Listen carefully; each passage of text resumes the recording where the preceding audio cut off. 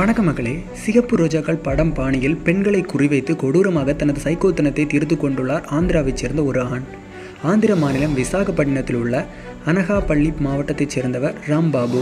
இவர் நாற்பத்தைந்து வயதுடையவர். Real estate நிறுவனத்தில் பணிபுரிந்து வரும் ராம்பாபுவுக்கு கடந்த பன்னிரண்டு ஆண்டுகளுக்கு முன்பு திருமணம் நடைபெற்றுள்ளது.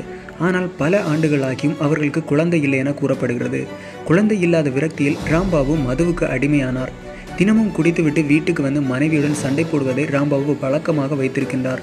இதனால் கணவன் மனைவிக்கு இடையே அடிக்கடி பிரச்சனை ஏற்பட்டு வந்திருக்கிறது. ஒரு கட்டத்தில் மனைவியை சந்தேகப்பட்ட தொடங்கினார் ராம்பாபு. அக்கம் பக்கத்தில் உள்ள ஆண்களுடன் தொடர்பு இருப்பதாக கூறி மனைவியை அவர் துன்புறுத்த ஆரம்பித்தார். ஒரு கட்டத்தில் வீட்டின் உரிமையாளருடன் தனது மனைவிக்கு முறையற்ற தொடர்பு இருப்பதாக உறவி உறவினர்களிடம் கூறிய ராம்பாபு இனி அவருடன் தன்னால் வாழ முடியாது என கூறினார். இதனால் நான்கு ஆண்டுகளுக்கு முன்பு ராம்பாபுவின் மனைவி அவரை விட்டு பிரிந்து சென்று விட்டார்.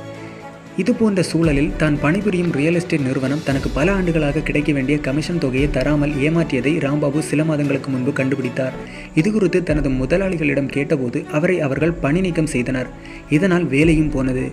மனைவியும் ஏமாற்றிவிட்டார். வேலை செய்யும் இடத்தில் தன்னை ஏமாற்றிவிட்டனர் என்று எண்ணி எண்ணி மனம் வெதும்பிய ராம்பாபு ஒரு கட்டத்தில் சைக்கோவாகவே மாறிவிட்டார். மனைவி தன்னை ஏமாற்றியதால் அவருக்கு பெண்கள் மீது ஒருவித வெறுப்பும் கோபமும் உருவானது. இதையடுத்து பெண்களை கொலை செய்ய அவர் முடிவு செய்தார். அதன்படி கடந்த இரண்டு ஆண்டுகளாக விசாகப்பட்டினத்தில் தனியாக இருக்கும் பெண்களை குறிவைத்து அவர்களை கொலை செய்தார்.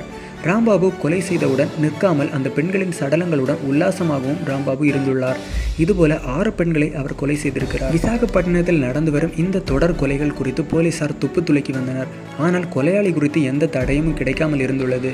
இந்த சூழலில்தான் கடந்த மாதம் தான் கொலை செய்த பெண்ணின் வீட்டை நோட்டம் பார்ப்பதற்காக ராம்பாபு சென்றிருக்கிறார். அப்போது அங்கு மஃப்டியில் இருந்த போலீசாருக்கு அவரது நடவடிக்கையில் சந்தேகம் ஏற்பட்டது. இதையடுத்து அவரை பிடித்து விசாரிக்கும் போது பெண்களை கொலை செய்து வந்ததை அவர் ஒப்புக்கொண்டார். இதனைத் தொடர்ந்து போலீசார் ராம்பாபுவை கைது செய்து நீதிமன்றத்தில் ஆஜர்படுத்தினர். பெண்களை தொடர்ச்சியாக கொலை செய்து வந்த சைக்கோ கொலையாளி பிடிபட்டது ஆந்திர மக்களை நிம்மதியடை செய்துள்ளது.